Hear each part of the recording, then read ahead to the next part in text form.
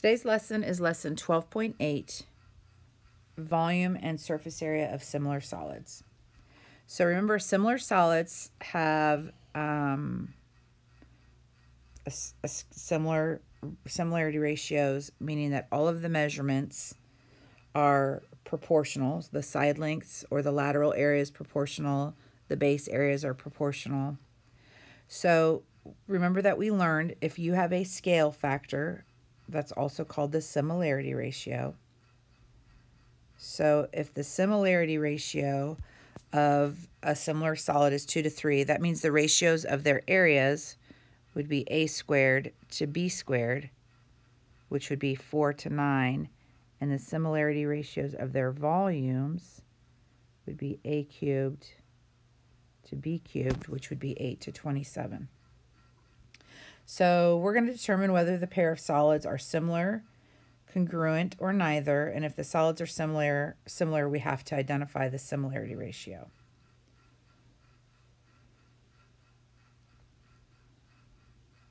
So for example number one, you'll see I'm going to compare the height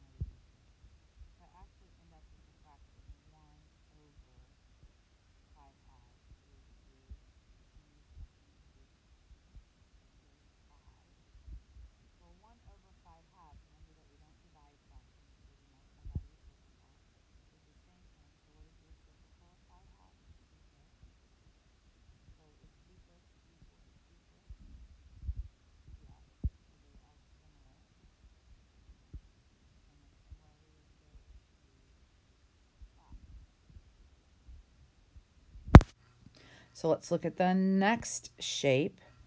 I have a radius of 6 compared to a height of 15. Radius of 6 compared to a height of 16. So I know that they're not congruent. I also know that they don't have the same similarity ratio. 6 over 6 is not the same as 15 is to 16. So these are not similar, not congruent, their similarity ratios are not the same. The radius of 6 over 6 is not the same as the height 15 over 16. Okay? So let's look at example number 3. So two similar cones have a radius of 9 and 12. So I'm going to draw those. I have two cones. One has a radius of 9 and one has a radius of 12.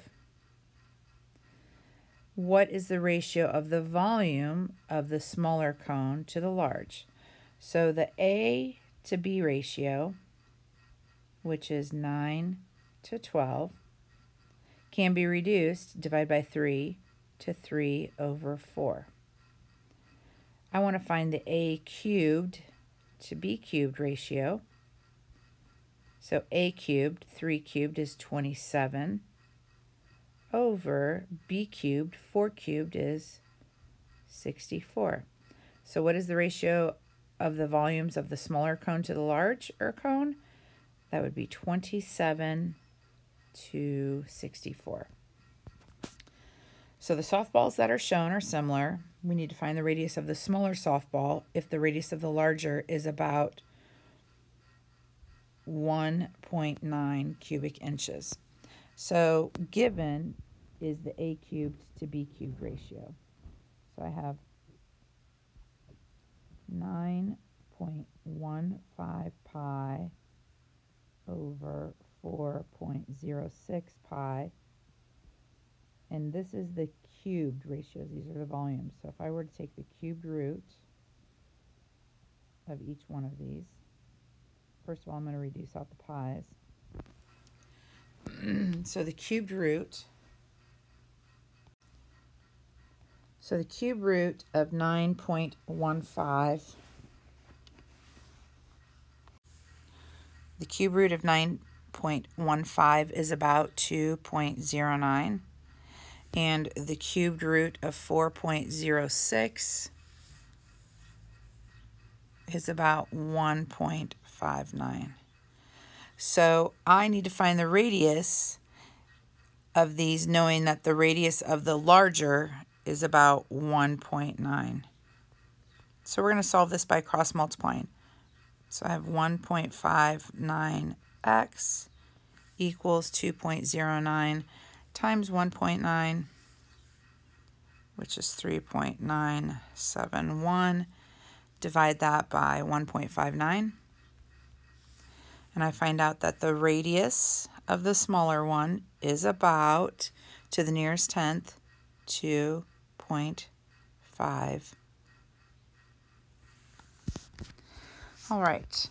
The containers below are similar solids find the height of the smaller container. So I see that the volume of the small cylinder is 80 pi. The volume of the larger cylinder is 270 pi. The first thing I'm going to do is get rid of the pi's and I'm going to divide them both by 10.